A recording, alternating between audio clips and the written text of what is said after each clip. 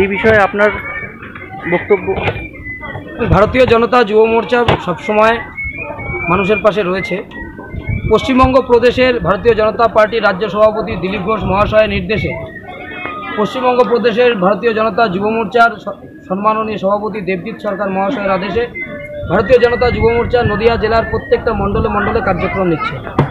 চাকদা শহর মণ্ডল যুব মোর্চার পক্ষ থেকে চাকদা স্টেশনে দীর্ঘদিন ধরে সাধারণ মানুষকে স্টেশনে যে সমস্ত মানুষ অনাহারে থাকে তাদের মধ্যাহ্নভোজের ব্যবস্থা করেছিল এবং কখনো চাষিদের পাশে দাঁড়িয়ে তাদের ধান ঝাড়ার ব্যবস্থা করেছে।